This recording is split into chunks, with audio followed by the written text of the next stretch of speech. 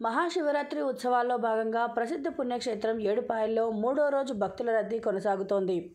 తెల్లవారుజామున నుండి భక్తులు మంజీరా నదీ పాయల్లో పుణ్యస్నానాలు ఆచరించి అమ్మవారి దర్శనం కోసం బారులు తీరారు. ఉదయం నుండి అమ్మవారికి ఒడిబియ్యం బోనాలు సమర్పిస్తున్నారు.